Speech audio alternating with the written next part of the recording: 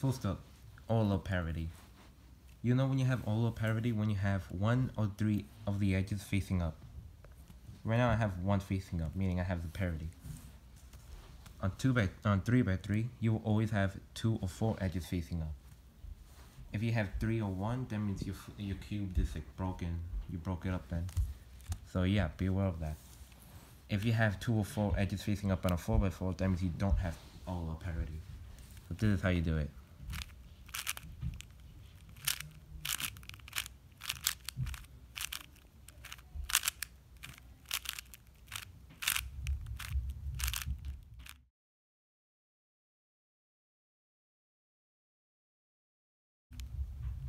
Now I only have two facing up and I got this preserved.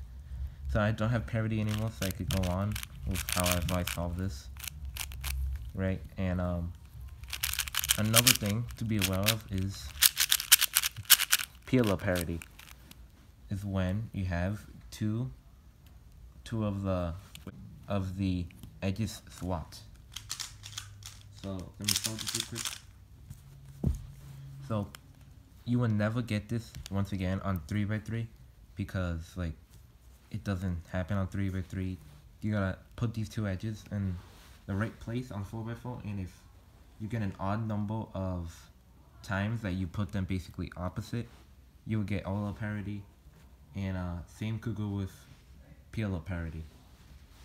So once again if you have two of them swapped on 3x3 then you kind of broke it and you gotta fix it. But on 4x4, you will always um, know if you have OLL parity, I mean PLL parity, when you don't recognize the alg or when you have these two swapping. So it goes like this.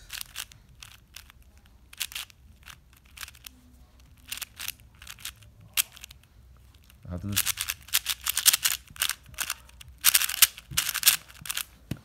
Pretty simple. Uh, okay, uh, one way to recognize if you have PLL parity let me show you if you're beginners and use my beginner tutorial. And right here I have one. Let me hold here. Oh look, I got two. These two need to swap, but that's impossible if you're doing that on 3 by 3 That means you have PLL parity. So you do the alg like so. And you basically like start again from what you were just doing. And then you're not going to run into the problem again. So let me show you, got one here. Let me do it from here. And look, I got all of them now instead of these two needing to swap.